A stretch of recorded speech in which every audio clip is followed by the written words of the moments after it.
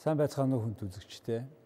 Өнөөдөр 19 оны 3 дугаар сарын 27 Монголын үндэсний нэвтрүүл зураг телевизээр бид өнөөдөр де факто мэтгэлцээнэ хөдөлмөрийн хуулийн шинжилэл ажил олгогчдод сөргөөр нөлөөлөх үү гэсэн сэдвээр явуулах гэж байна.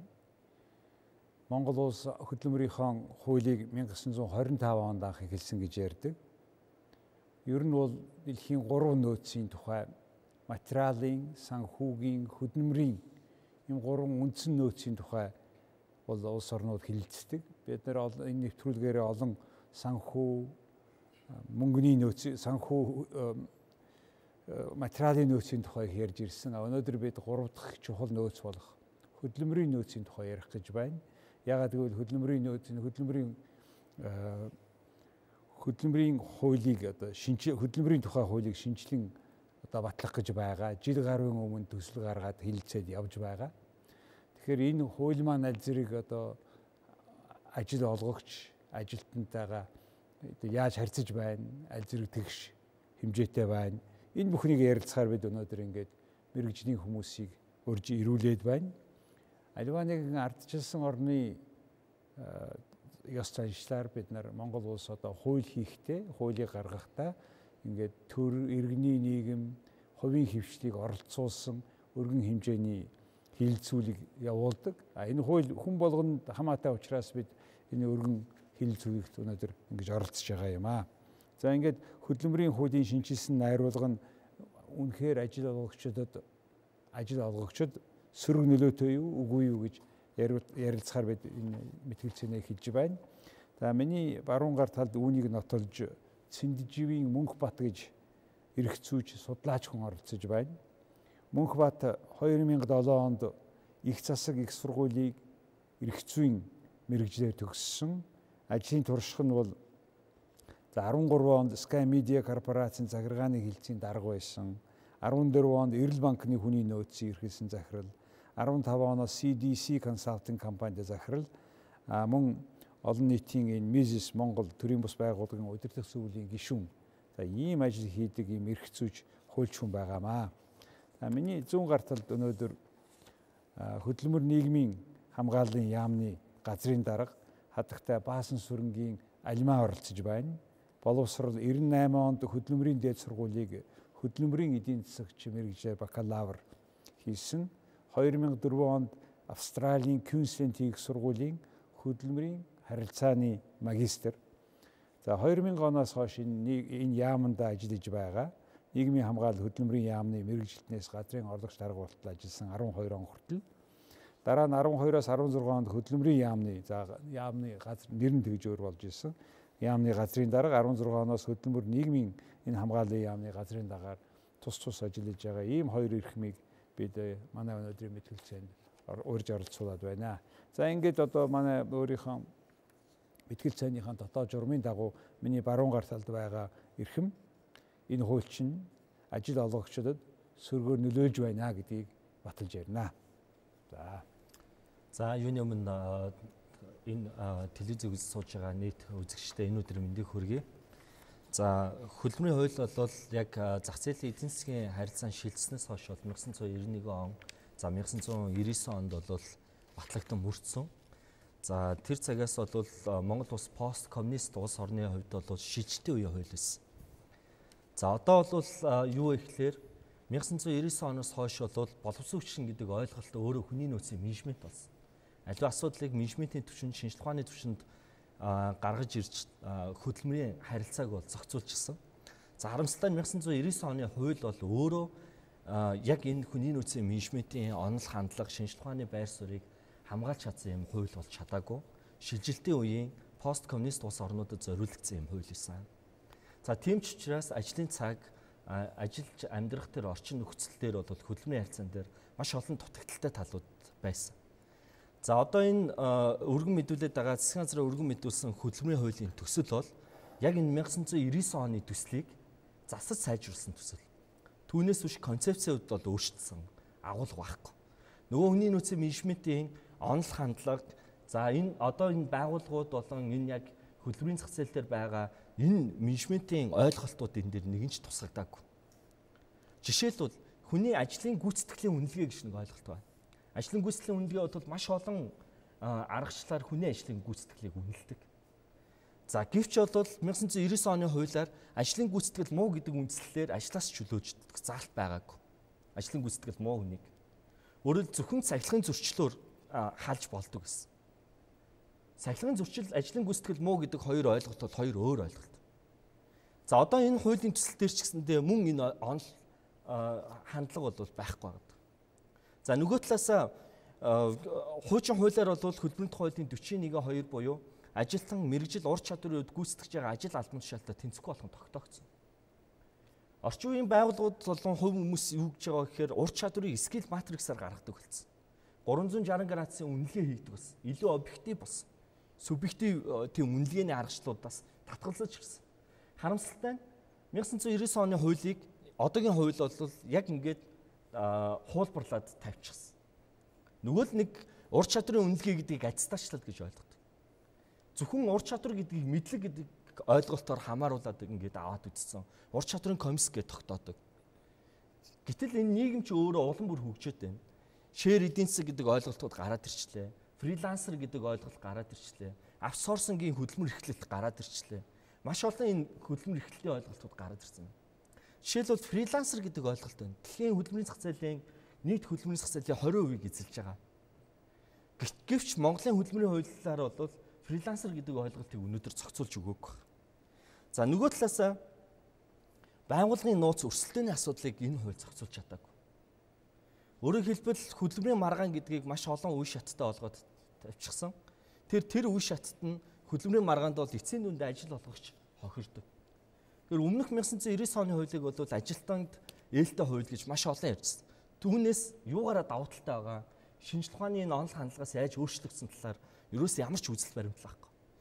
За эдийн засгийн тооцооллууд хийгдэггүй. Жишээлбэл рострын асуудлыг өнөөдөр 2010 гэж.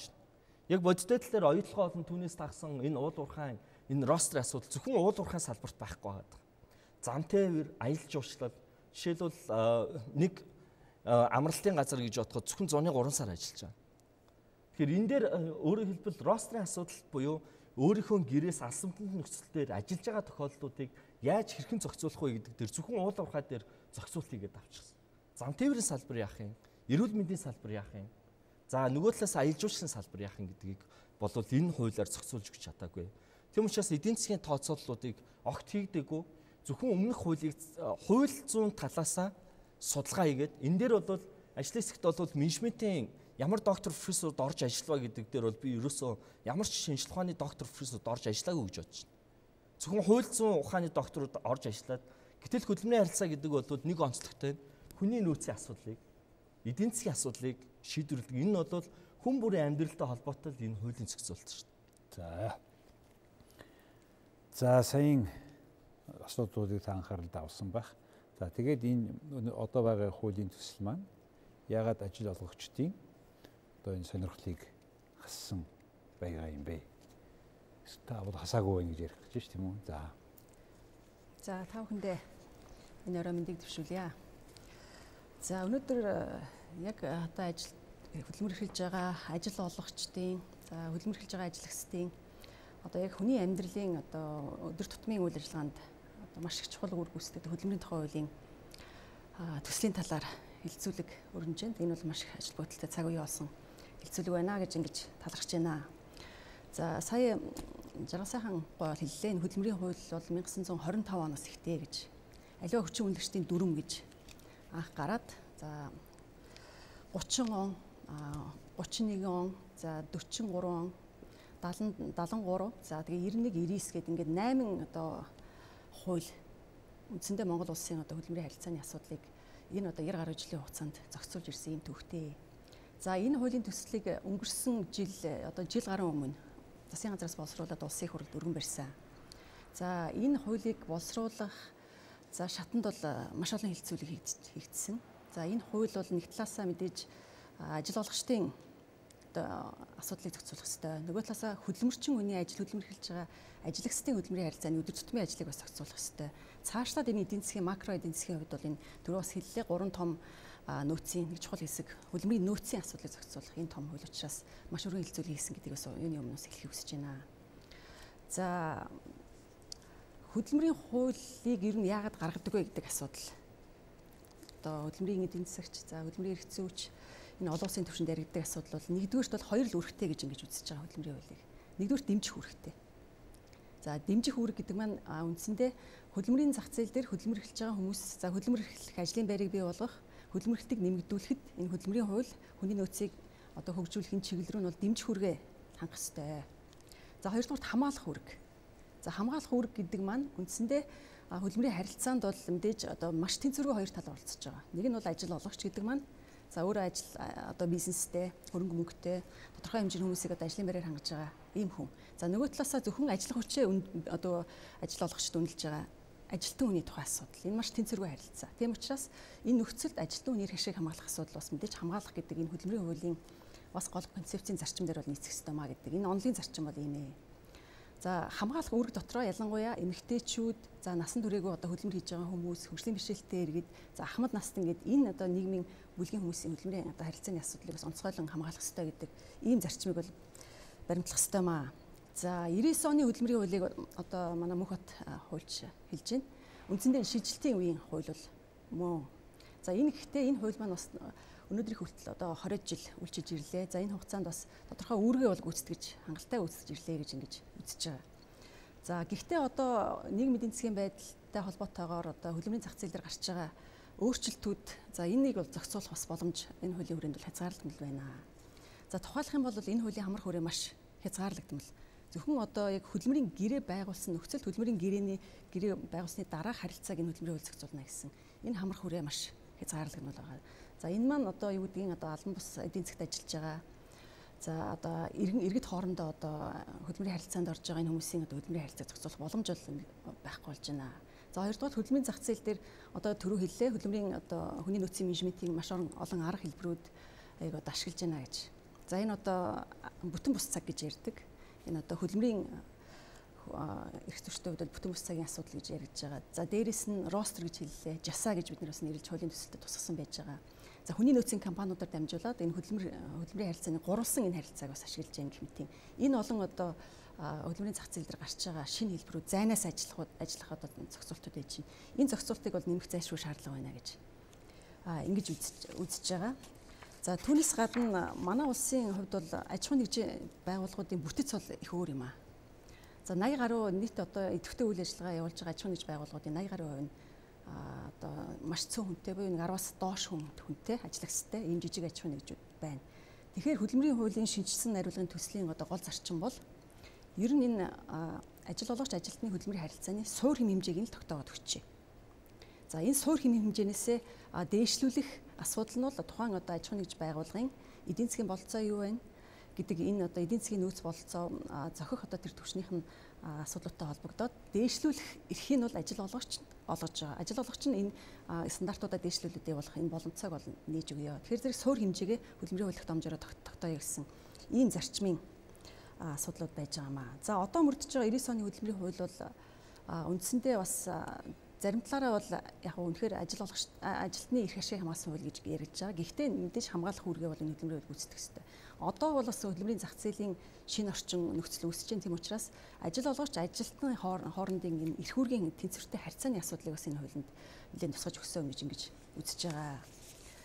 За бас за тодорхой хэлэх юм бол одоо мөрдөж байгаа хуулийн дээр бол ажил олгогч ажилтны эрх үүргийг бол нэлээд одоо хялбаршуулсан байдлаар маш товч байдлаар томьёолсон байж байгаа. За одоо хуулийн шинжилсэн хариулгын төсөл дээр маш нарийн байдлаар ажил олгогч одоо ямар эрхтэй вэ?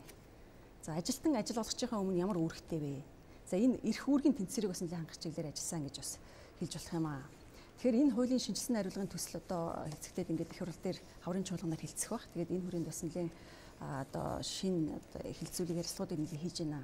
За ер нь бол энэ хуулиараа ажил олгогчд бол бас хэд хэдэн боломжийг шинээр одоо нээж өгч байгаа гэж ойлгож байна. За юун төрөө энэ хөдөлмөрийн хөдөлмөрийн харилцаанд уян хатан зохицуулт хийх болцоог бид нар олгож байна. Одоо бүтэн бус цагаар хүн аваад ажиллах болцоо байж байна. Зайнаас хүн ажиллуулж болж байна. За хүний нөөцийн менежментийг зохицуулаад тэр гуравдарч буюу хүний нөөцийн компаниудаар дамжуулаад хүний нөөцөө бүрдүүлэх боломж нөхцөлийг олгож байна. За ростроор ажиллах гэдэг энэ хэв шинж бас одоо уул уурхайн салбар дээр нэлээд ажиллаж байна.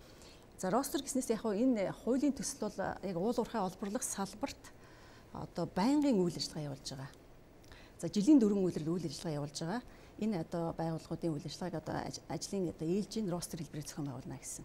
За тэгэхээр зам тээврийн салбарт яагаад ашиглаж болохгүй юм бэ? Аялжуулчтай яагаад ашиглаж болохгүй юм бэ гэдгийг бас товчхон тайлбарлая гэж ингэж бодож байна. Энэ бол улирлын шинжтэй ажлуудаа. За тэгэхээр манай улсын хувьд бол энэ улирлын хамаарал бол одоо эдийн засгт нөлөөлөхөөс гадна хөдөлмөрийн зах зээл дээр бас нөлөөлж штэ.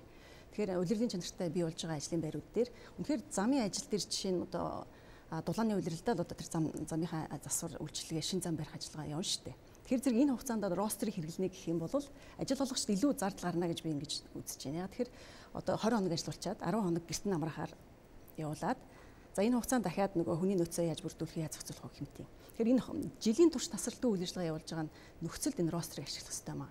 За одоо энэ зам тээврийн салбар, аялал жуулчдын салбар гэдэг энэ улирлын чанартай үйл ажиллагаа явуулдаг салбарууд дээр л ажлын цагийг нэгтгэн бодох журам гэж одоо ч мөрдөж байгаа. За шинэ хуулийн төслөөр бас оруулж байгаа. Тэгэхээр энэ ажлын цагийн жилийнхэн ажлын цагийн фондыг тооцоод за тэр тухайн одоо удирдлынхаа ажилдаа хэдэн цаг ажиллав, амралтын яа зохицуулах гэдгээ тооцоод явчихдаг энэ журамтай. Тийм учраас зам тээврийн салбарт бол энэ рострыг ашиглахад бол болцоо их муутай. Ялангуяа ажил олчлаасаа илүү хүндрэлтэй байхаа гэж ингэж бодож байна.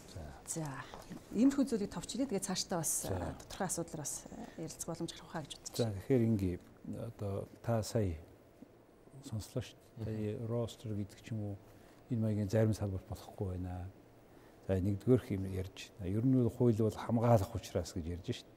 Тэрэнд голдуу зориулнаа гэж ярьж байгаа. Тэгээ юм учраас тэгсэн ч гэсэн бүтэн бүтэн бус цагаар ажиллах хөдөлмөрийн хуваарийг зохицуулж байгаа, алсаас ажиллуулахыг зохицуулж байгаа, зайнаас ажиллуулахыг юм. Тэгээд энэ дотор ингээ байгаад харц урд урд өмнөхөө бол бас илүү зохицуулсан юмуд оруулсан байна. Тэгэхээр та саяхан ярьсныг үндэслээд Э, юу дутуу оруулсан гэж үзэж байна.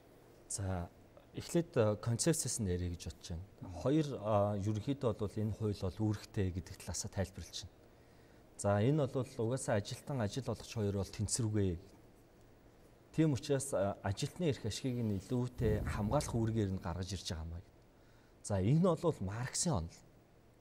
Карл Маркс өөрөөр хэлбэл эдийн засгийн харилцаан дээр юу гэхээр капиталистууд буюу капиталистууд бол анханасаа энэ нэг өмчлсөн учраас баян хүн баян байна гэдэг энэ онолыг төвшүүлж гаргаж ирсэн.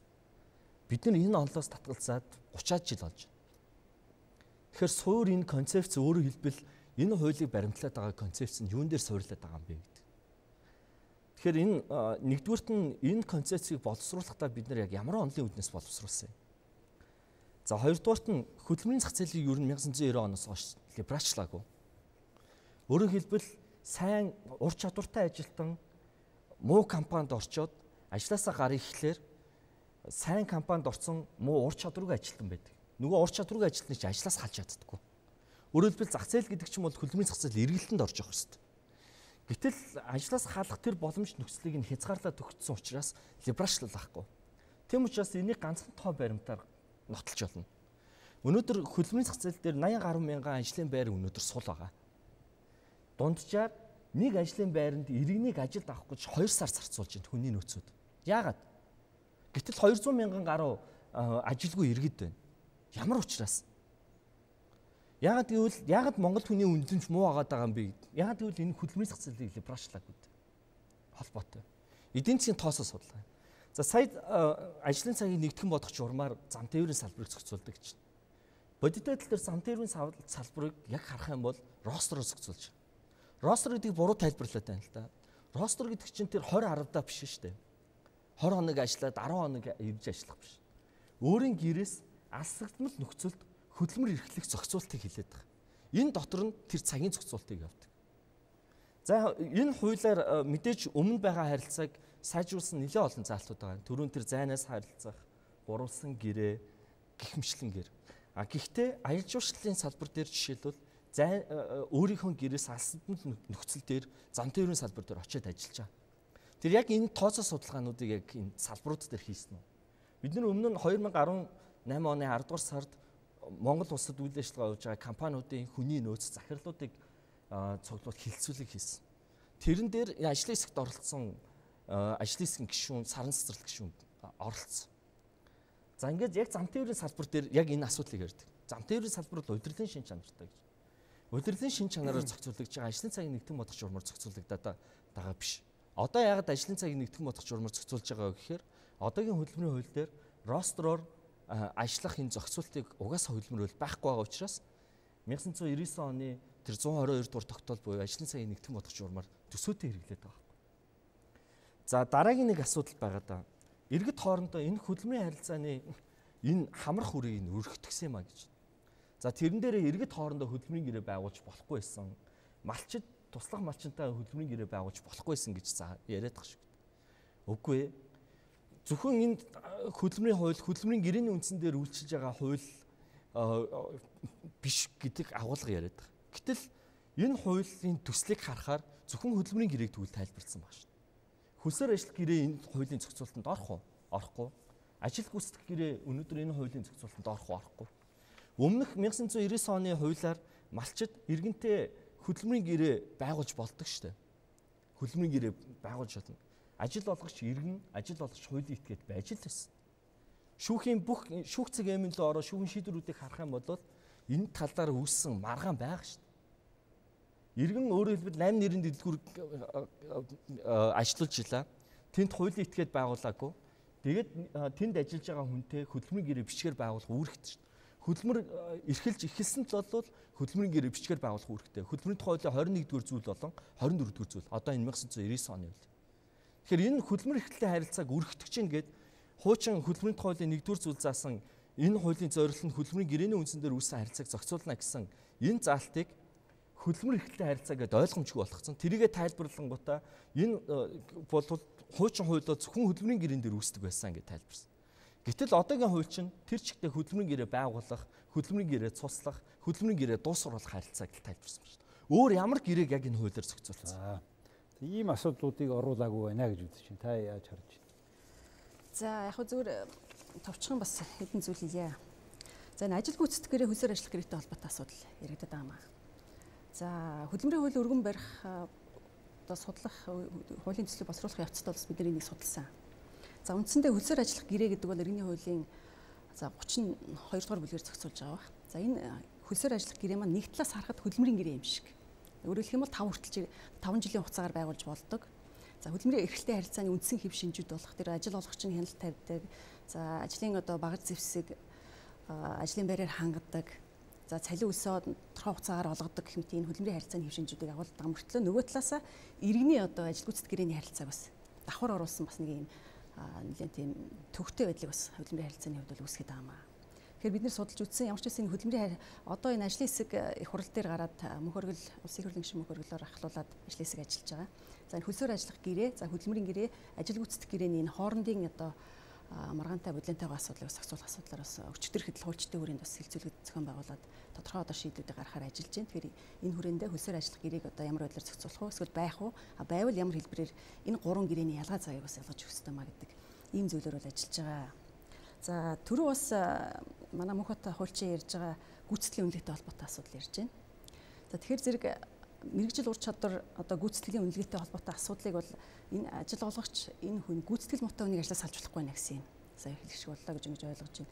Тэгэхээр ер нь бол хөдөлмөрийн гэрээндээ мэдээж гүйцэтгэл муутай ажлын одоо үрдэн муутай хүн бол ажлаасаа халагдах нөхцөл болцоо нь бол байж байгаа. Дотоод журмаараа хөдөлмөрийн гэрээндээ яаж одоо тусах уу гэдгээс ажил болгох шалтгааллах хэрэгтэй. Ямар нөхцөлийг одоо зөрчил хөдөлмөрийн гэрээгээ одоо хөдөлмөрийн гэрээ дотоод журмуудаа хэрхэн зохицуулах вэ? Ямар эмийг сахлахын зөрчил гэж үзэх вэ гэдгийг маань нарийн тогтоосон нөхцөлд бол за ажлаас халах болцоо ажил болгох олон байгаа шүү дээ. Олон одоо үндслүүдээр ажлаас халах нөхцлүүд нь бол ажил болгогчд байж байгаа. За мэрэгжил ур чадрын хувьд тэнцэхгүй бол гэх мэт. За эрүүл мэндийн хувьд за одоо шинэ хуулийн төсөл төр бол энэ мэрэгжил ур чадрынхаа одоо нотолж байгаа баримт бичгийн хурамчаар бүрдүүлсэн. За гэмтийн ийм шинэ нөхцлүүдийг бас ажил болгогчийн зүгээс л нэмж байгаа За хуулийн төсөл дээр бас шинээр нэмэгдэж байгаа хэд хэдэн бас шинэлэг асуудлуудыг бас биелхэн зүйтэй авах гэж бодож байна. За энэ бол нэг илүү ажил болгоч талдаа бас эрэгтэй залтууд юм а гэж ингэж бодож байна. За тухайлах юм бол хөдөлмөрийн гэрээндээ одоо өрсөлдөөнийг хориглох залт. За ажил болгогчтойгоо одоо ижилхэн ажиллаж ур чадвар эзэмшчихэд ажил болгогчтойгоо ижилхэн компани байгуулад явах юм эсвэл ижилхэн одоо бүтээгдэхүүн үйлдвэрлээд зах зээл дээр өрсөлдөхгүй гэдэг нь үл өсөлтөх гэрээний гэрээний зохицуултыг бас энэ дээр оруулж байгаа.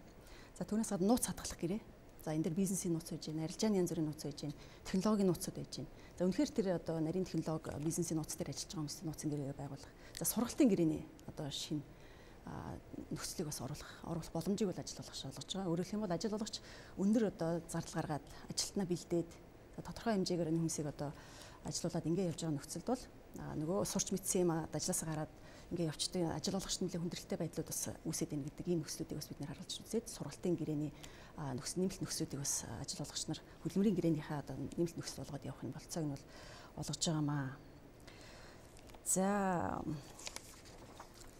түүнээс гадна за тэр хөдөлмөр эрхлэлтийн харилцаа хөдөлмөрийн гэрээ гэсэн энэ одоо ойлголтуудын тухайс ярьж байна. За үндсэндээ бол мэдээж хөдөлмөрийн харилцааны гол асуудал бол энэ хөдөлмөрийн гэрээ. За ажил олгогч ажилтан хоорондоо одоо хөдөлмөр хөдөлмөр эрхлэлтийн харилцааг одоо юугаар зохицуулах хоёр хөдөлмөрийн гэрээгээр л зохицуулна. Тэгэхээр хөдөлмөр эрхлэлтийн харилцаа гэдэг нь шинэ нэр томьёо. Гэтэ яг нь бол олон улсад мэдээж олон жилийн турш практикт хэрэглээ явцсан нэр томьёо. Тэгэхээр энэ нэр томьёог бол одоо оруулж ирж байгаа. Үндсэндээ гурван хэв шинж үүсвэл энэ хөдөлмөр эрхлэлтийн харилцаа ажил олгогч ажилтны хооронд үүсчээ гэдэг энэ нөхцөлийг одоо хуулиар тодорхой болгож өгч байгаа. За нэгдүгürt тухайн ажилтан бол ажил олгогчийн удирдлага хяналтанд ор ажиллана. За хоёрт нь ажил олгогч нь бол тэр хүнд одоо тодорхой одоо үйл ажиллагаа ажил үйлчлэгийн үзүүлэлтийн төлөө цалин үйлс олгоно. За нөгөө талаасаа энэ одоо ажил олгогч ажилтан хоорондоо за хөдөлмөрийн нөхцөлийг тохирох энэ нөхцөл хэмтийн ийм одоо гурван хэв шинж үнэхээр үүсэх юм бол энэ бол хөдөлмөрлөлтийн харилцаа. За энэ хөдөлмөрлөлтийн харилцаагаа одоо бичгээр албажуулаад хөдөлмөрийн гэрээг байгуулад за тэгээ хөдөлмөрийн хуулийн зохицуулт руу орно гэсэн ийм л одоо зарчмын асуудлуудыг бол тусгаж байгаа юм. Гэрээг байгуулахдаа шинэ хуулиар хугацаагүй байгуулна гэж заасан байгаа юм уу? Тий, хугацаатай ер нь бол хөдөлмөрийн гэрээ хоёр хугацааны хувьд бол байгуулах хугацааны хувьд хугацаатай хугацаа гэсэн хоёр төрөлтэй байж байгаа. За хугацаатай байгуулах 6 төрлийн хөдөлмөрийн хуулийн төсөл төр тодорхой зааж өгсөн байна.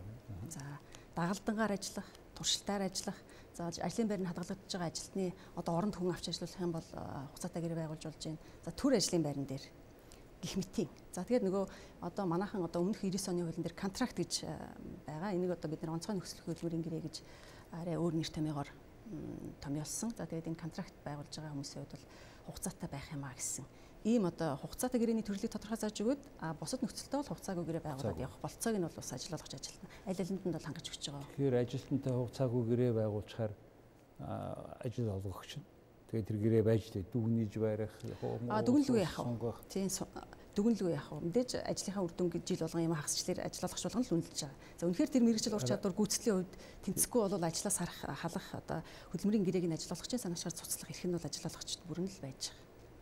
За за яг саяхан хоёр асуудал байна. За нэгдүгürt нь хугацааны хувьд бол би альмад арахтаа бол санал нэг байгаа. Гэхдээ энэ дээр бол юу вэ гэхлээр ер нь хөдөлмөрийн гэрээг хугацаагүй байгуулах гэдэг энэ утга агуулга өөрөө яагаад заавалчгүй байгаад байгаа вэ? Яг бодиттой тал дээр бол хүний нөөцүүд бол man power plan буюу хүний нөөцийн ажиллах хүчний төлөвлөлтөө 5 жилээр жилээр төлөвлөж байна. Компани стратеги гэдгийг өнөөдөр бол 5 жилээр гарахаа болчлоо шүү. Ягаад гэвэл нийгэм өөрөө өөрчлөгдөж байна. Биткойн, захим зах зээл гэдэг ингээд маш хурдцтай өөрчлөгдөж явахад нөгөө хүнийхээ хөдөлмөрийн гэрээг нь хугацаагүй байгуулчихдаг. Тэгэхээр энэ болоод нөгөө өмнөх хуулийн гол концепц агуулга байсан нөгөө нэг төрөний яриад байгаа угаасаа энэ ажил олгогч бол дандаа давуу эрэхтэй байдаг гэдэг энэ буруу онол хандлагаас үүдсэн бас нэг илэрхийлнэ.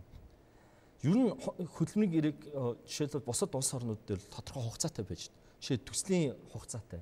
Гэтэ мэдээж энэ хуулийн залтан дээр төр өмнөх хуулийн зохицуултаас илүү давуу талтай нь төр ажил гэдэг ойлголт гарч ирээд энэ төр ажил гэдгээрээ бол хугацаатай байгуулж болж байгаа. Гэхдээ гол концепц агуулга нь юу гэхээр хөдөлмөрийн гэрээг байнгын ажлын байран дээр хугацаагүй байгуулнаа. Энэ тохиолдолд бол хугацаатай байгуулж болно, бусад тохиолдолд бол хугацаагүй байгуулна гэдэг агуулга. Хоёр хүн хоорондоо харилцан тохиролцоод ажил болгочулаа ажилтна харилцан тохиролцоод за би чамтай ерөөсөө 6 сар л ерөөхдөө хамтарч ажилланаа. Энэ ажлын байр бол төр ажлын байр биш ээ Гээд ингээд тохиролцож болохгүй байгаа гэсэн. Хөдөлмөрийн гэрээг хугацаагүй байгуулах нь хинт ашигтай. Хинт э, ашигтай гэдэг нь бол э, тодорхой бас. Яад гэвэл энд бол гэсэндээ тодорхой хугацаагаар юу гэдгийг 6 сарын хугацаан дээр бодиттой дээр ажиллах юм нөхцөл болцоо гарч эхэлдэг.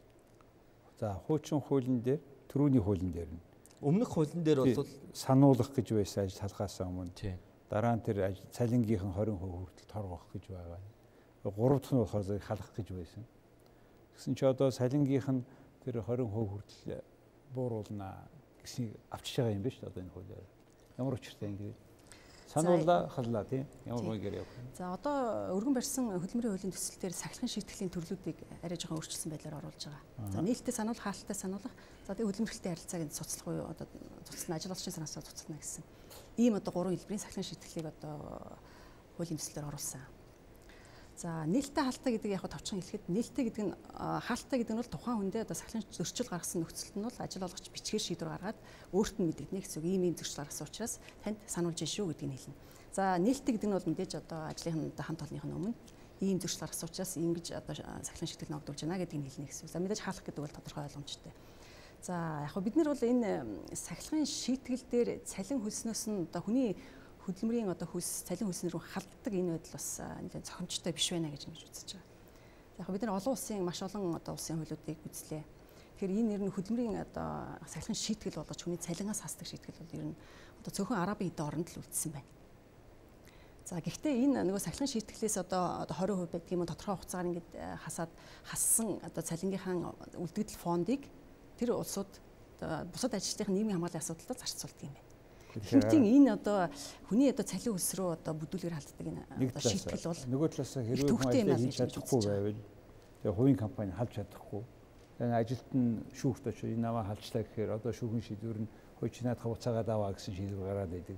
Ийм тойрог яаж гарах хэрвээ нөгөө хүн ажлаа хийж чадахгүй, ур чадваргүй Тэгэхээр зэрэг бас түрүү тайлбарлаад байгаа юм. Үндсэндээ тэр мэрэгжил ур чадрын хувьд тэнцэхгүй сахилгын зөрчил гаргаад хөдөлмөрийн гэрээ, дотоод журам, за хөдөлмөрийн хууль тогтоомжийг зөрчиж байгаа хүмүүсийг ажлаас халах эрх нь бол ажиллуулагчд бүрэн нээлттэй байж байгаа. За энийгээ дотоод журмаараа бүрэн тодорхой зохицуул хөдөлмөрийн хуулийн шинэ төсөл дээр бол хөдөлмөрийн хууль тогтоомж дотоод журам за хамтын одоо гэрээгээ түүнээс гадна хөдөлмөрийн гэрээгээ зөрчсөн болвол ажиллуулагч ажлаас нь одоо чөлөөлж халах бол эрх нь нээлттэй байгаа. Гэхдээ энэ дээр шүүхийн практикс харахад бол нийт одоо хөдөлмөрийн хууль тогтоомжоор гарч байгаа хөдөлмөрийн маргааны нэг 60 орчим хувийн одоо ажлаас халахтай холбоотой маргаан багт. Тэгээ ингээд ямар шалтгаанаар энэ шүүхэн шийдвэр одоо ажилтны талд гараад ерөнхийдөө 80 80 орчим хувь нь бас ажилтны талд гарлаа гэсэн юм шүүхийн статистик байгаа юм. Тэгэхээр гол нөгөө үндсийг үзэхээр зэрэг ажиллагчд маань нөгөө хөдөлмөрийн хуулийнхаа зүйл залтыг буруу одоо барьж тушаа шийдвэрээ гаргадаг. За процессын алдаанууд гаргадаг хэмтийн бас зүйлсүүд нэлээд одоо ажиглагдж байна. Тэгэхээр энэ ажил болгогчийн хавар дүнгээр л юм а дүгнж байгаа шүү дээ. Тэглүү яах. Тэгээд хүлээснээсээ ердөөсөө бүтэхгүй болохгүй болохоор За процессын алдаатай гарлаач гэсэн гол зорилго нь тэр чинь ажиллаа хийж чадахгүй юм уур чадвар нь хүрэхгүй байгаа хүнийг цалин өгөөд байгаа суухад хэцүү шүү дээ хувийн салбар дээр. Тийм тийм миний тайлбарлаад байгаа үндсэндээ тэр. Тэр халах эрх нь бол ажил ажиллагч талтай бол бүрэн байгаа гэдгийг бол хэлхэн зүйтэй шүү дээ тийм. Ирэх байгаа гэхдээ боломжгүй байна л гэсэн санаа яриад л шүү дээ одоо бид. Айгу боломжгүй ш боллоо яг тодорхой нөхцлүүд ажиллагчийн санаачлаар цуцлах нөхцлүүдийг одоо бид рүү дурдлаа шүү дээ 5 6 нөхцөлийн үндсэн дээр одоо ажиллана. Монгол улсад хууль тогтоомжийн тухай хууль гэж гарсан. 3 жилийн өмнө батлагдсан. Тэгээ өнөөдөр Монгол улсад гарах гэж байгаа бүх хуулийг гаргахаас өмнө дөрвөн үндсэн нөхцөлийг хангасан байх ёстой. Судалгаа хийгдсэн байх ёстой. Хараат бусаар ямар зардал тайвуулахын хийсэн байх ёстой. Тэгээ юугийн сайжруулж байгааг хэлэх ёстой тийм ээ. Энийг ийм судалгааны байгууллагуудаар хийсэн ийм дүгнэлтүүд байх ёстой. Тэгээ яг энэ хуулийн дээр хэн тийм судалгаа хийж дүгнэлт гаргасан бай. Тий. Хууль тогтоомжийн хуулиар хуулийн төсөл босруулахад бол бас нэлээд өргөн шаардлага тавьж байгаа өөрөө ч хэлж байгаа үнийн судалгаанууд хийх хэрэгтэй эдийн засгийн тооцоолууд хийх чинь хууль зүйн үр нөлөөлийн судалгаанууд хийх хэрэгтэй. За хөдөлмөрийн хуулийн төсөл төр бол бид нэр за 10 гаруй судалгаа хийсэн байгаа. Бид нар гэдэг нь а манай яам байж гэн за мэрэгжлийн судлаач нар байж гэн манай яамны харьяа одоо хөдөлмөр нийгмийн хамгааллын судалгааны институт гэж институт ажиллаж байгаа. За гэх мэт гэхдээ чиглэл чиглэлээр нь хийж байгаа. За хамтын гэрээ хэлцээр хэрэгжилт ямар байна вэ гэдгийг судлаа. За хөдөлмөрийн одоо гэрээтэй холбоотой зохицуултын асуудлаар орно одоо уран цэцэг профессор судалсан багч шийтэй. За цалин үсний хувьд нь ямар байна? Цалин үсийн бүтцийн ямар байна гэх мэт. За ингээд одоо төрөл төрлөө хөдөлмөрийн хуулийн бүлэг болгоноор нь ирэхэд судалгаанууд бол хангалттай хийсэн гэж ингэж үзэж байгаа. Тэгэхээр ийм асуудал байна да. За жишээ нь за ямар ч хууль гарлаа гэсэн Монгол улсад одоо 1.2 сая орчим боловсон хүчин байна гэж хөдөлмөрийн нөөц. Тэрнээс ч одоо 250 орчим мянган энэ дотроос ажлын насны 250 орчим мянган саард эдийн засгт буюу татвар төлөхгүйгээр худалдаа 8 хийгээд ингээд явж байна. Дараа нь 200 гаруй мянган бас нөгөө төрийн ажилтнууд байгаа. Тэгээ төрийн ажилтнууд бол үндсэндээ юм бүтээдэг биш юм хуурддаг хүмүүс шүү дээ. Эсвэл бол одоо материалын баялаг бүтээдэг багш, имлэг сургууль те энэ чиглэлээр ажилладаг хүмүүс байна.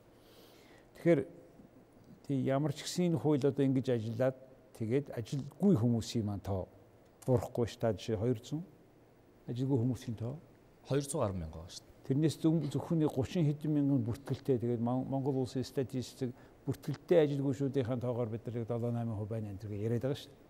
А үнэн хэрэгтэй бол 2 300 мянга байгаа шүү дээ. Тэгээ ийм нөхцөлд энэ манай энэ хөдөлмөрийн чинь хууль ажил ажилтай болохыг дэмжиж гин үү дэмжихгүй байна уу жишээлбэл цагаан хад гэдэг газар 15 мянган машин 5 толгойн хоёрын хооронд явж байна. Тэр жишээлбэл хинийхэн мэддэхгүй ямар татвар хин төлдөн бүү мэд нэг юм жишээлбэл одоо энэ хөдөлмөрийн хаана хуулинд харьяалагдах юм. Яагаад гэвэл хөдөлмөрийнхэн энэ цалингаа албан ёсоор авахгүй байгаа хүмүүс нөгөө нийгмийн нөгөө даатгал шийтгэл юм а төлөхгүй шүү дээ. Тэгээд төлсөн хүмүүсийнх дээр энэ хүмүүсийг суулгах чадсан шүү дээ. Үрд нь үрд үнд наманд ч үгүй хамарт ч үгүй. Жишээлбэл Германд энэ хэрвээ нөгөө нийгмийн даатгалын шимтгэл төлдгүү хүнийг албан бусаар авсан буюу хүн ажилуулчид энийг өгөөгүй бол маш том торгуул төлдөг юм байна л да. Тийм учраас тийм хар захын тийм ажиллах хүч гэж байдгүй.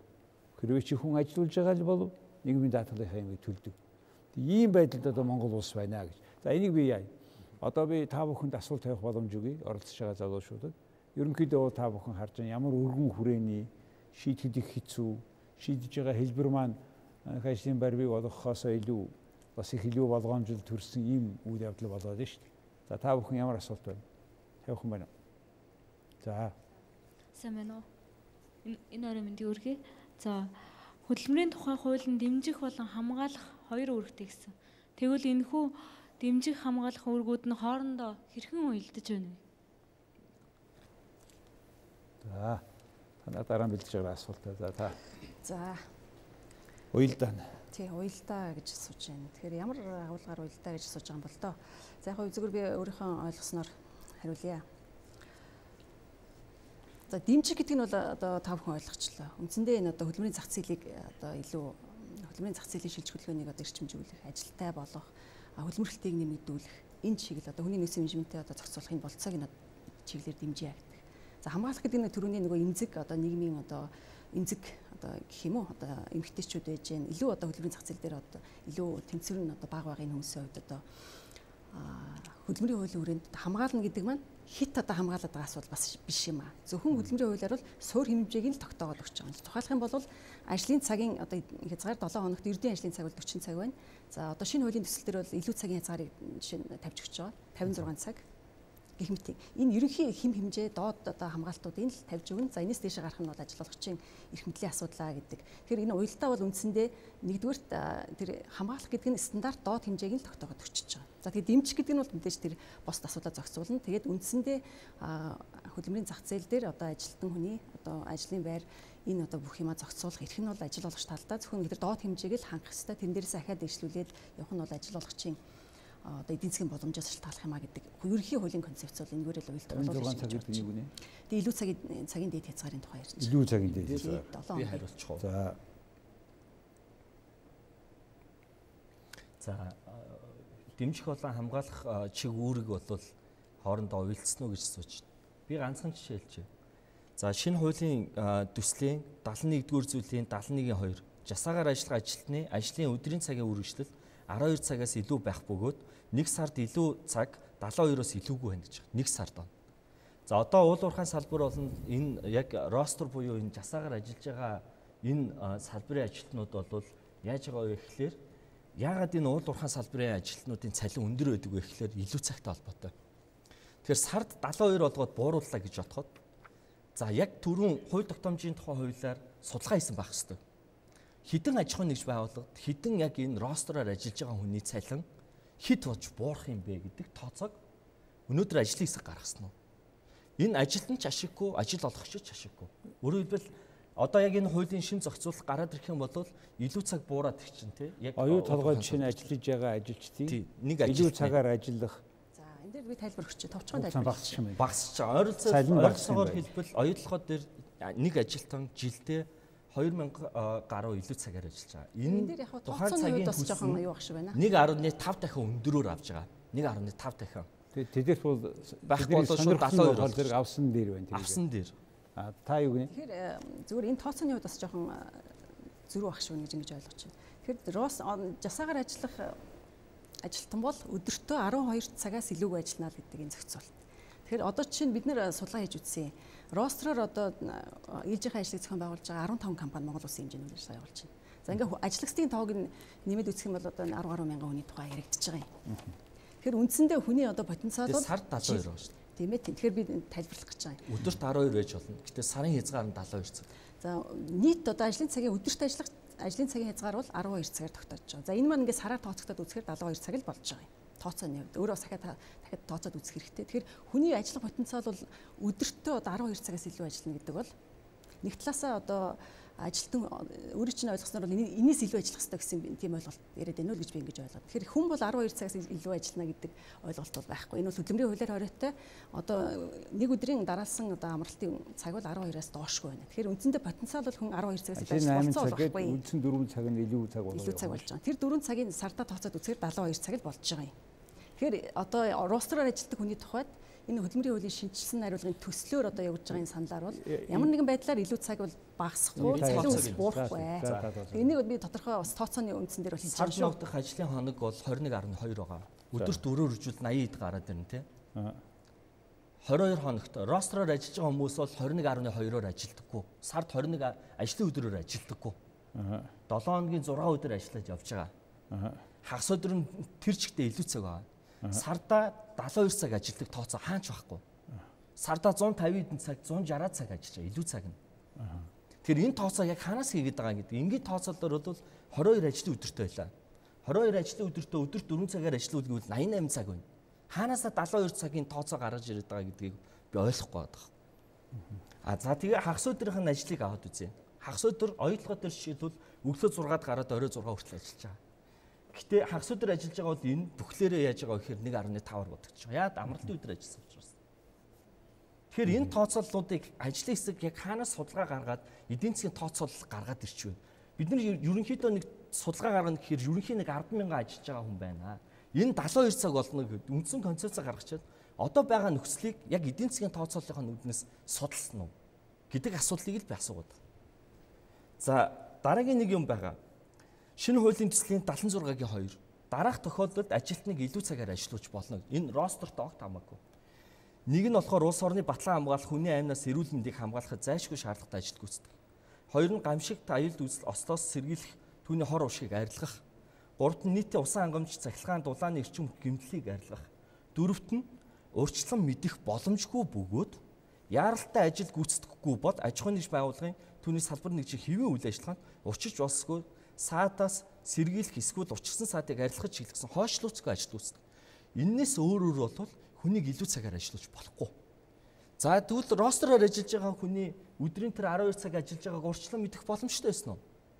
Боломжтой тий.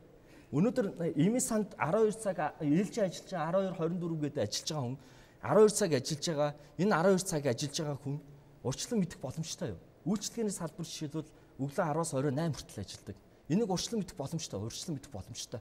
Чи манад ажиллаж байгаа бол ингэж ажиллана шүү. Ийм ийм цагтаа илүү цаг ажиллана гэж явж байгаа. Гэтэл энэ шинэ хуулийн зохицуултаар илүү цагаар дараах тохиолдолд ажиллана. Өөрөөр хэлбэл зөвшөөрснөөс бос нь хориглогдно.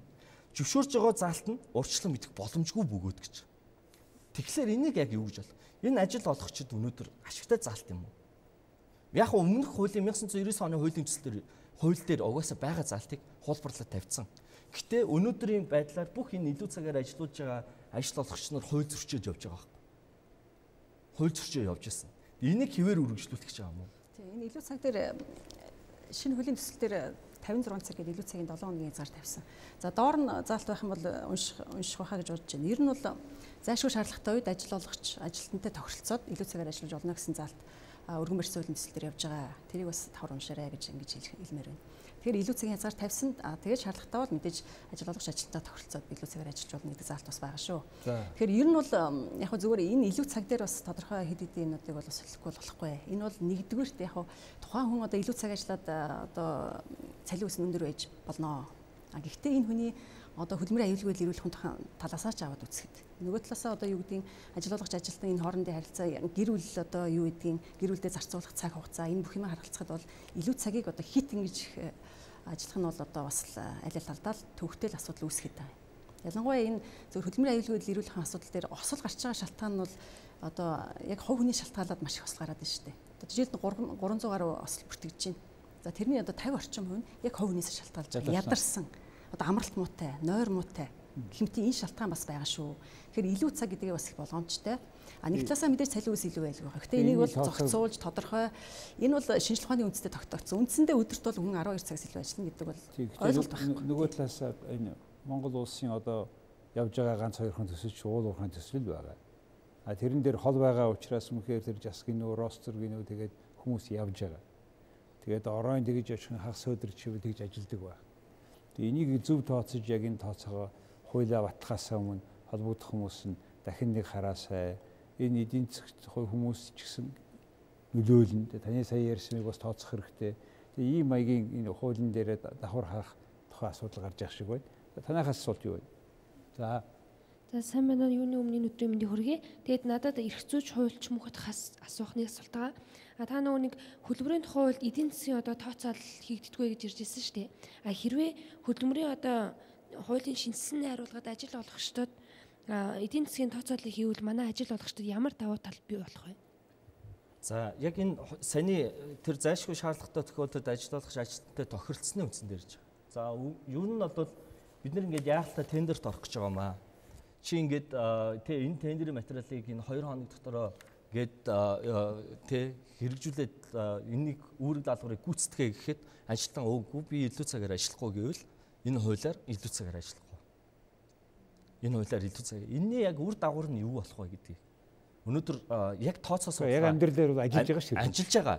А тэгэхээр энэ эрхийг нь өгчөж байгаа. Ажиллахгүй гэж. Би энэ юусоо энэ компанид ажиллахдаа би огт илүү цагаар ажиллахгүй шүү. Би огт зөвшөөрөхгүй шүү гэж хэлэх эрхийг нь олгочихж байгаа. Хууль мэдээж амьдрал дээр хэрэгжинэ. За эдийн засгийн тооцоо судалгаа жишээлбэл сая хэлж байна. Яг хэдэн хувь нь За жилдээ 2220 хөдөлмөрийн маргаан гардаг. Хөдөлмөрийн хуулиар. За үүний 50.3% нь бол ажлаас үнсэлгөө халагдсан маргаан байна. За энэ бол шүүн таслах ажиллагааны тооцоо судалгаан дээр байна. Яг нэхэмжлийн шаардлага хэдэн хувь хангасан, хэдэн хувь хангаагүй гэдэг тооцоо судалгаа өнөөдөр ажлын хэсэгт байна уу? 80 орчим хүн гэж. Судалгаа бол орчмоор гарахгүй шүү дээ. За өнөөдөр яг энэ илүү цагтай холбоотой ажиллаж байгаа хүмүүсийн яг энэ хуулийн зохицуулалт гарч ирсний дараа эдийн засгийн үр дагаврыг танзан судлах хэрэгтэй хууль тогтоомжийн хуулиар эдийн засгийн үр дагаврыг танзан судлаад хэлбэл ажилтнуудын цалин үлс буурах юм уу өсөх энэ тооцоол судалгаа өнөөдөр хийгдсэн үү? Яг энэ заалт бүрээрээ энэ ардталтанд тооцоо судалгаа явж явах хэрэгтэй шүү дээ. Тэгэхээр энэ тооцоо судалгаа яг хаана байгаа? Чи парламентын эмэн дээр байгаа хууль тогтоомжийн төслийн дагуу бол хуулийн төсөлтэй тооцоо судалгаанууд нь давхар явж байгаа.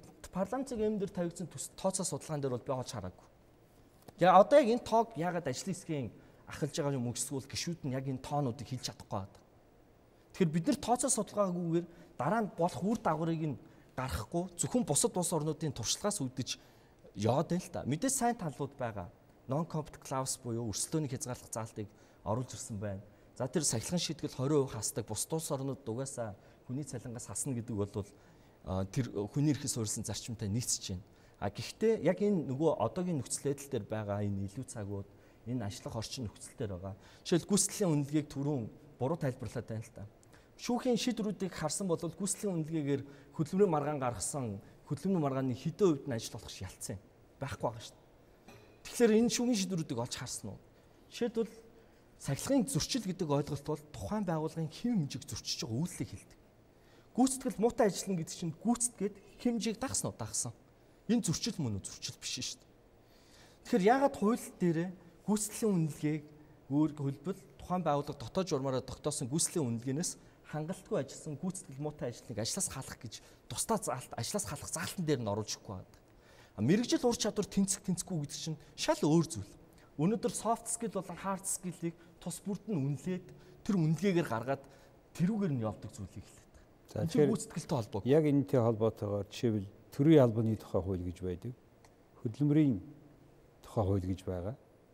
Тэгээд хоёрын үеэлдээ холбоог үүсгэхэд төрийн ажилтан жишээвэл заримдаа ялангуяа дарга сайдын солигдохоор өдөр шингүй ажил болдог жишээ. Тэгээд айл хуулиараа тэр одоо хүний ажлыг зохицуулах юм жишээ. Яг үүндээ бол олон төрийн ажилтан муу нэртэй боловч гэсэн яг яг цагаа тулаад тэр хичнээн ажилддаг хүмүүс байх шүү. Энийг жишээ яаж зохицуулах вэ? Төрийн албаны хууль шинжилэгдэн батлагдаад 19 оны 1 сараас 1-ээс мөрдөж байгаа. За энэ дээр яг хөө тэр илүү цагийн асуудал тодорхой орсон. Тэгэхээр төрийн одоо захиргааны болон төрийн үйлчлэгээ бусад одоо төрийн алба хааж байгаа хүмүүс бол илүү цагийнхаа үлсийг хөдөлмөрийн хууль тогтоомжийн давхар аавна гэдэг эрх нь бол өгсөн. За тэгээд холбогдох журам нь бас саяхан засгийн газраас батлагдаад мөрдөгдөж байгаа. Тэгэхээр тэр гүйцэтгэлийн үнэлгээний хувьд бол хилээд байгаа зөвхөн энэ бол нөгөө юу гэдгийг тухайн хүнийг ажлаас халах гэдэг одоо нэг л одоо шинжийн л өөр хилээд байна. Тэгэхээр олон юм бэ. Тэрийгэ дотоод журмаараар ажиллагч нар зохицуулаач. Гүйцэтгэлийн үнэлгээ хэрэгжүүлнэ. За энэс ийм ийм үнэлгээ авсан бол Энэ бол ажлаас салах үндэслэл болно гэдэг энэ татсан ийм юмнуудаа бол ерөнхийдөө ажил олгогч нар дотоод журам за хөдөлмөрийн гэрээн дээр маш сайн тодорхойлж тусах хэрэгтэй. Хөдөлмөрийн гэрээн дээр хөдөлмөрийн маргаанаас зайлсхийе. Дотоод журам дээр нөгөө хэсгийг зохицуулаа гэж хэлж байна тийм үү? Ерөнхий асуудлаар дотоод журмаараа зохицуулчаач. Хөдөлмөрийн гэрээн дээр наривчлсан тухайн хүнтэй ярьж тохирох юм байвал тэргүүрээ зохицуулаач. Ингэж хөдөлмөрийн одоо маргаанаас зайлсхийхгүй бол бүх дотоод журам журмаараа зохицуулах бүх юмыг хөдөлмөрийн хуулиар зохицуулна. Одоо бүх одоо сахилгын зөрчил юу гэдэг бүгдийг хөдөлмөрийн хуулиар дурдна гэдэг бол үнэхээр ойлгомжтой бол яг юу хүсэж байгаа вэ гэхлээр ажлаас халах нэг үндэслэл нь өөрөө гүйцэтгэлийн үнэлгээ тий хангалттай ажилласан. Заалт оруулах юм бол байгууллага тэртээ тэргүй өнөөдөр байгууллагууд ажлын гүйцэтгэлийн үнэлгээний журам гаргаад за баланско карт энэ үү одоо юу гэдгийг чекийн арга байна уу маш олон аргууд байгаа хүний нөөцийн бүгдээр нь ном зохиолтуудаас хараад ингэ явчих болно. За тэгээд тэр болгоноор нь юм объектив байдлаар үнэлгээд үнэлгээгээ гаргачих болдог.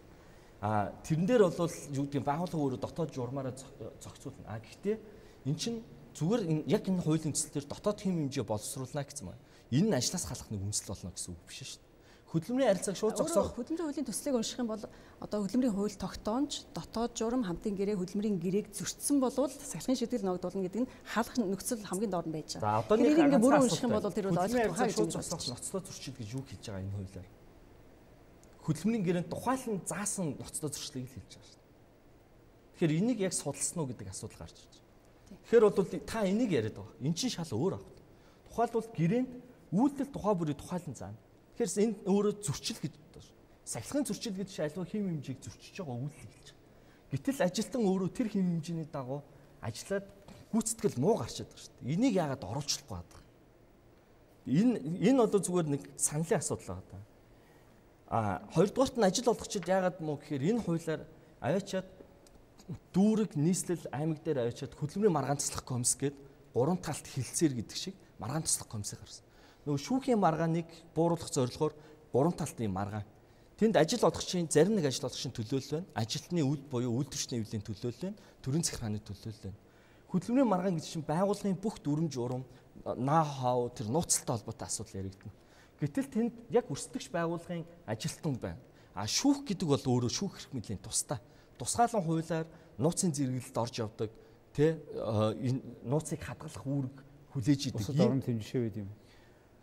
Бусад тос оронд энэ хөдөлмөрийн арбитрийг андуурч ойлгодог шүү. А тэгээ энэ хуулиар хуучин хуулиарсан хөдөлмөрийн арбитр арбитрийн тухай хуулиар байгуулад явж болдог гэсэн. Гэтэ энэ хөдөлмөрийн маргааны үе шатыг нэмэгдүүлчихэж байгаа байхгүй. Дүүрэг дээрээ яваад төрийн захиргааны байгууллага Энэ асуулт байна уу? Аа за миний хувьд бол ажил олгогчныг төлөөлж ирсэн байгаа. За барилгын салбарт 30 жил үйл ажиллагаа явуулж байгаа байгууллагт би гүйцэтгэх удирдлагаар ажилладаг ийм хүн байна. За өнөөдрийн хувьд бол миний хувьд хөдөлмөрийн тухай хуулийг яг ажил олгогчийн зүгээс бол ажиллахад ажил олгогчдод ямар одоо өөр яг одоо ашиглаж байгаа хуулиас ямар ашигтай тал, ямар илүү зүйл, ямар өөр одоо зүйл ямар өөрчлөлт байгаа бол гэдэг сонирхлоор одоо ирсэн байгаа. Маш маш их сонирхож ирсэн.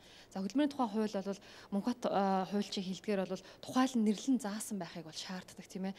За би бол одоо яг ажлын хэсгийг одоо ажиллаж байгаа альма дараагаас бол ингээд тухайлан нэрлэн заасан зүйлийг одоо сонсхийг бол маш хүсэж байсан. Тэгэхээр нэгэн одоо ийм одоо цаг байгаа нэг тодорхой асуудал. Тэгэхээр ийм юм асуух гэдэг юм л түрүүн уур чадваргүй ажилтан нэг одоо буюу үр дүн гарахгүй байгаа ажилтныг шууд халах нөхцөлийг одоо бүрдүүлж байгаа А энийг бол дэмжиж байгаа энэ хууль гэсэн. Одоо хэрэгжиж байгаа хуулиас яг юугаараа өөр байгаа вэ? Яаж дэмжиж байгаа вэ? Ур чадваргүй ажилтныг бид яаж халах боломжтой вэ? За. Тэгэхээр яг гүйцэтгэл ур чадвар гэсэн юм бас нэлээ өнөөдөр яригдлаа. За одоо хөдөлмөрийн хуулийн төсөл дээр одоо энэ бас нэлээ улсын хурал дээр ажлын хэсэг ажиллаад одоо яг өргөн барьснаас бол бас жоохон өөр болж байна За үндсэндээ ажлын хэсэг бол э, их хурл дээр гарсан ажлын хэсэг 14 зарчмын санал гаргаж байгаа. За тэн дотор наад санал чинь бас явж байгаа. А тэгэхээр зэрэг э, ер нь бол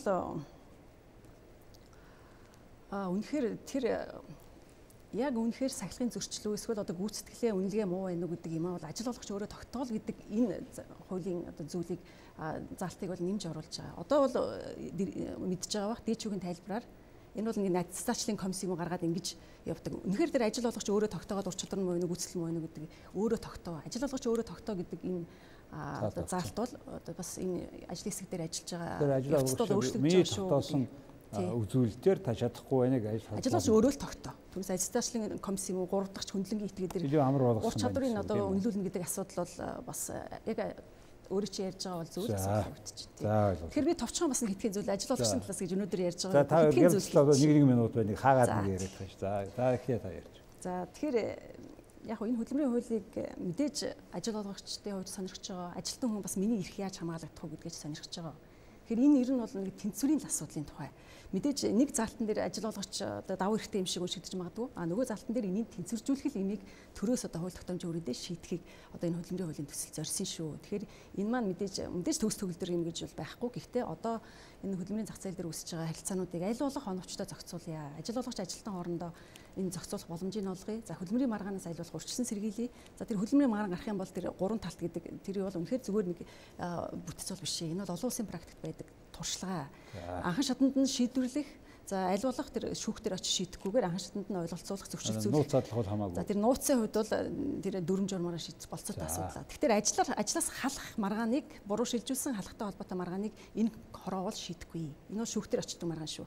Тэгэхээр нэг баг зэргийн одоо үйл ойлголцсон маргаан гарсан нөхцөлд бол энэ одоо комиссар өөрийнх нь хүсэлт байвал хүслээрээ шийдвэрлэх нь болцоог нь солгоё гэдэг юмнууд бас байгаа шүү гэдгийг та бүхэндээ бас хэлхийг хүсэж байна. Тэгээд улам бас энэ хуулийн төс сайжрах хаа энэ саналууд гарч байна. Оо цалингийн асуудал бол байгуул хамгийн том нууцлын асуудал та. Аа тэрийг л хэлээд байна. За хоёрдугаарт нь бол энэ хууль дээр жишээлбэл өмнөх хууль дээр бол хүнийг албан тушаал бууруулж болдоггүй. Албан тушаал дэвшүүлэх, албан тушаал шилжүүлэх зохицуулт бол маш хязгаарлагдсан. Одоогийн 1999 оны хөлбөрийн хуулийн зөвхөн 3 үндслээр л хүнийг албан тушаал шилжүүлж болдог гэсэн байгалийн гамшиг сул зогсоолт эрүүл мэндийн шилтгаан. За шинэ хууль дээр мөн адилхан албан тушаал бууруулах албан тушаал дэвшүүлэх нь менежментийн босоо олон карьерийн хэвтэй өсөлтийг хийх боломжгүй. За ажил олгогчийн э, ээлгүй нэг суур хим хэмжээ гэдэг. Энэ суур хим хэмжээ бүх талаас нь өсгцэн. Би ганцхан жишээлж. Шинэ хуулийн төслийн 46 дахь зүйл бөөнөр бөөнөр хаалх үеийн зохицуулалт дээр. За 46 дахь зүйл дээр юу байсан бэ гэхээр бөөнөр халж байгаа тохиолдолд хилцээр хийнэ гэж.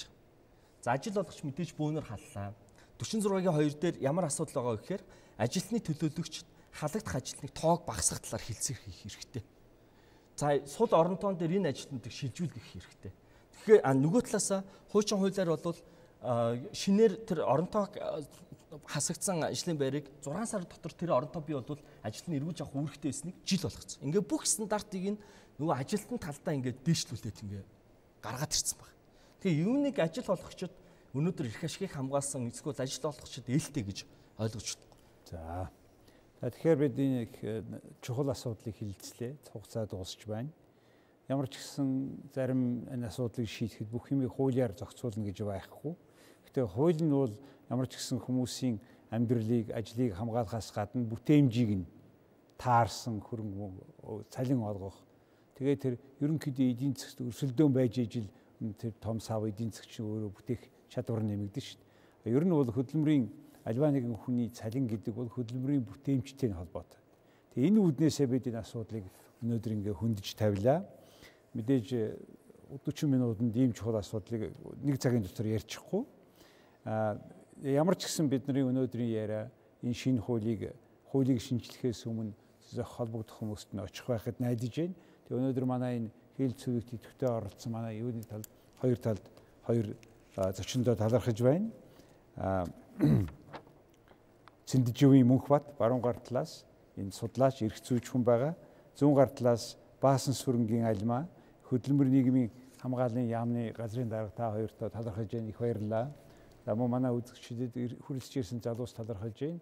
Ингээд нийт үзэгчид та бүхэндээ мөн талархаж байна. Одоо манай нэвтрүүлгийг дараа үзтлээ Баяртай их баярлалаа.